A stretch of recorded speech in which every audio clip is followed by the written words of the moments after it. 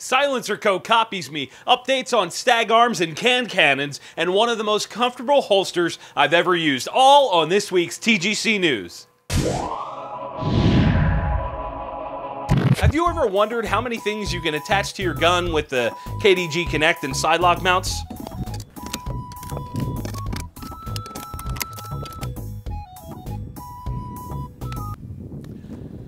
It's a lot. But just because you can doesn't mean you should. Kinetic Development Group.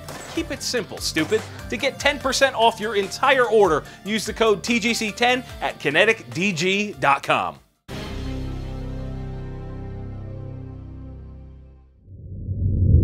Welcome back. My name is Jon Patton, and I have two super important announcements.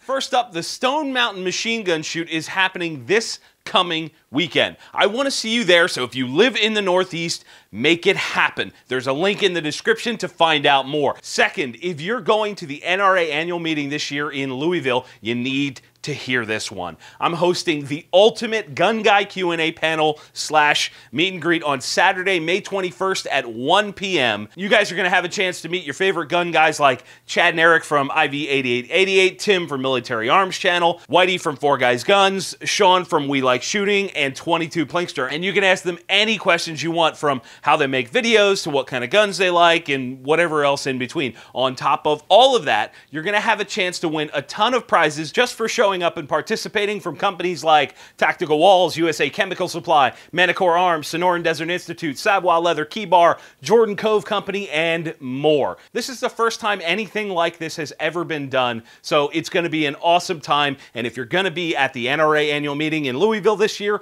check the link in the description to get your tickets now.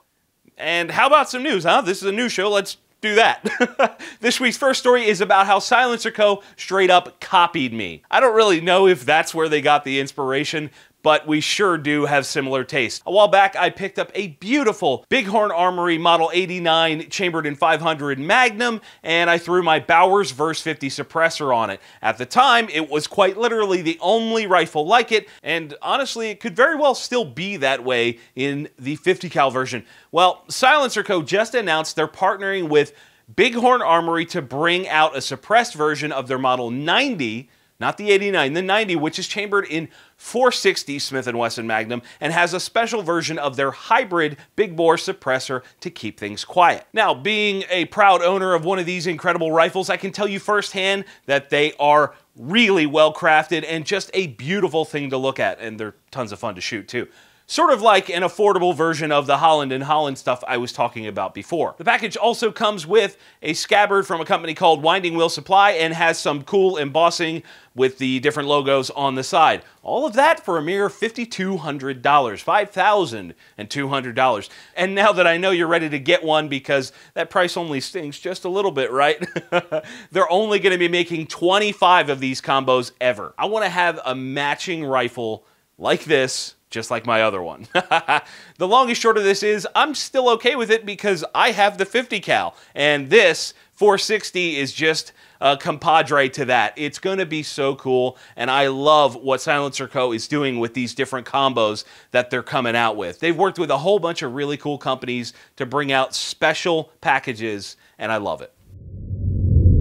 And in I was wondering about that news, I have a couple updates for you guys. First off, Stag Arms, the company that ran into some ATF issues for shoddy record keeping, has now been acquired by White Wolf Capital, the company that also owns Aero Precision and VG6 Precision. The company is currently up and running, Stag Arms is, but only time will tell if they'll be able to grow out of this issue and the negative crap around it. I'm fairly certain a poll at a gun store would reveal that most people didn't even know this happened, so I'm betting they're going to do okay in the long run. And another ATF related update, this time on X products. You may remember a few months back when their soda can launching AR 15 upper, otherwise known as the Can Cannon, was deemed a short barreled rifle by the ATF. Yeah, it makes no sense. It seemed like a ridiculous thing and still does, but apparently the ATF's big issue was the fact that you could chamber a live 5.56 round in that upper with a quote unquote barrel that was only about this big. Very short. It's it's ridiculous. The ATF sucks. Well, now they have a modified version where it's not possible to do that. Yay. For those of you that may own one of the pre-existing models, X Products is doing a free